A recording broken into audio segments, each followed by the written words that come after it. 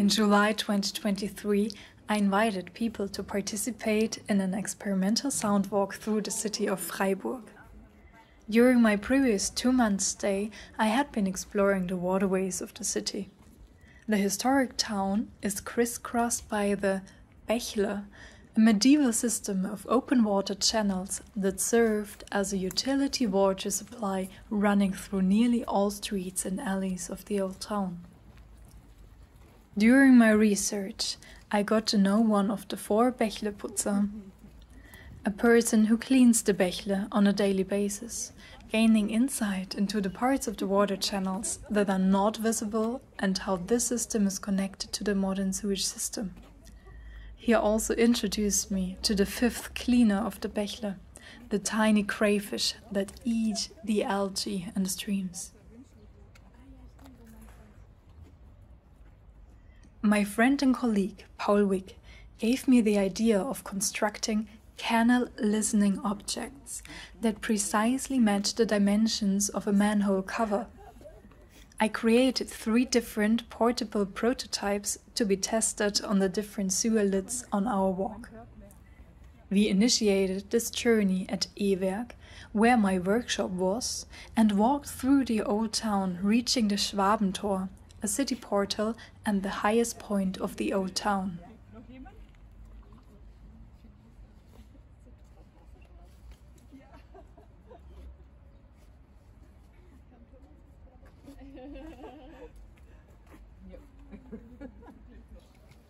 Canal networks connect people within the city and allow liquids, which flow through the environment and through us, to converge into the wastewater system. The city can be seen as an organism relying on a functional sewer and wastewater system. Every one of us, whether drinking from a public fountain, using the toilet, or turning on the tap, is part of a system that binds us and presents shared challenges. In the medieval city of Freiburg, a water supply and disposal system emerged consisting of four components. Wastewater seeped into pits and latrines behind buildings and in courtyards. Numerous public fountains provided drinking water in front of houses and on public squares. The commercial canal flowing through the southern part of the old town supplied water and water power to larger businesses, mills, and workshops. And lastly, the Bächle ran through the alleys, providing residents with water for firefighting, domestic use, livestock, and smaller industries. In medieval times, the water of the Bächle was conveyed over the city moat using wooden channels, then further to meadows and gardens in the west of the city. The Bächle collected organic waste, providing abundant fertilizer for the meadows and gardens. There were even disputes among farmers over this water. At the start of the tour behind the E-Werk, we encounter Bächle that were once used to irrigate meadows known as Klaramatten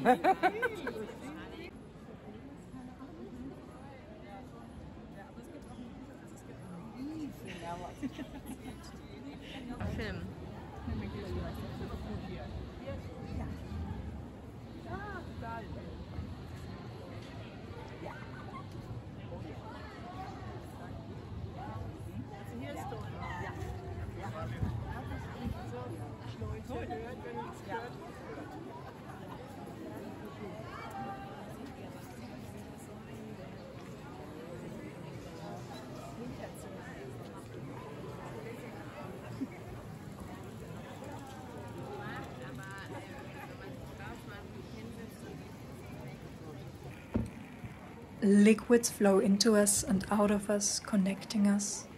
They are important. They bring joy, refresh us. They can drown us, hydrate us. We value them, need them, waste them, suppress them, forget them, feel embarrassed by them, find them repulsive, use them and flush them away. My own body, through which water flows, composed mainly of water and cleaned by water, becomes part of the bodies, cavities, and channels through which our fresh or used water runs.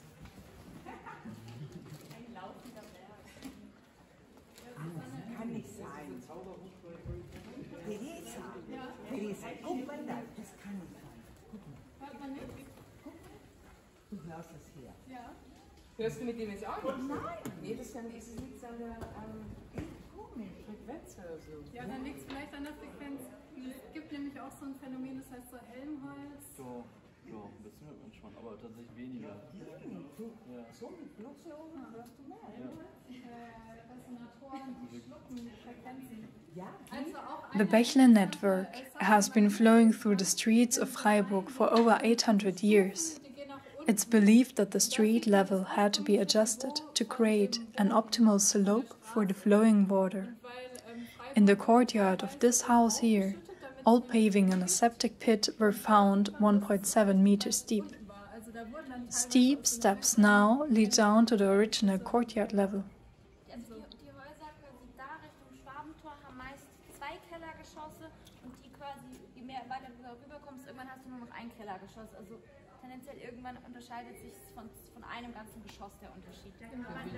The act of walking carries a specific rhythm, a rhythmic activity that connects with what is heard. Thoughts, perception, and the body are set in motion and gain new impulses. Walking, stopping, listening to each other, and collectively became a shared experience in this activity.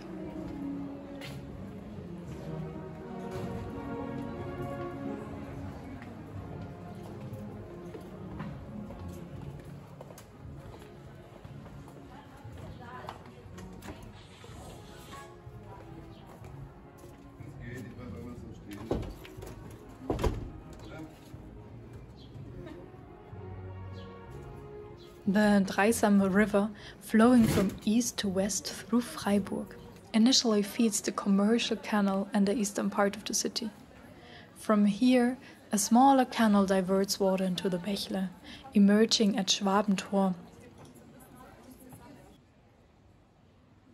Und die Unterwelt, was macht sie? Hört sich an wie beim Zahnarzt ein bisschen, ne? Hof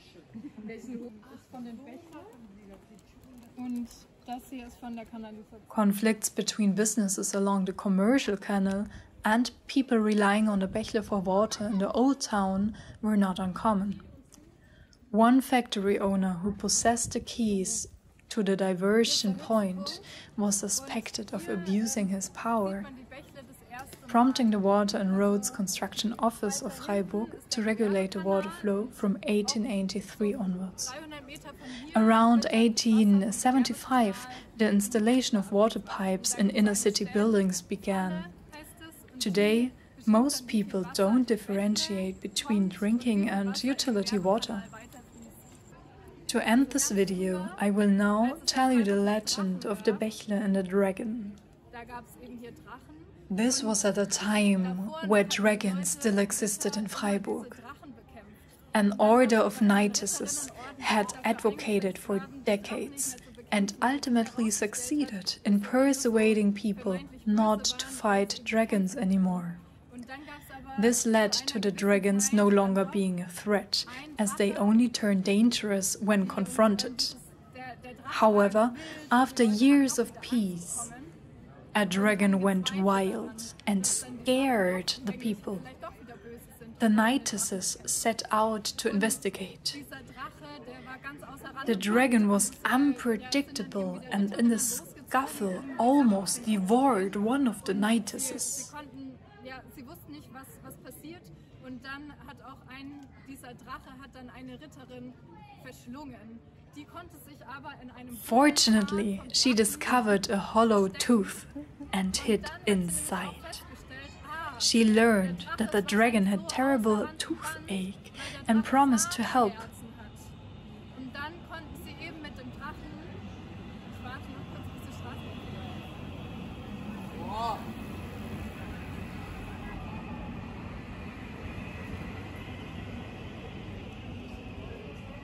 So the entire city of Freiburg pitched in, bringing large logs from the Black Forest and prying open the dragon's mouth at the marketplace, where many, many people pulled on a rope together to extract the bad tooth.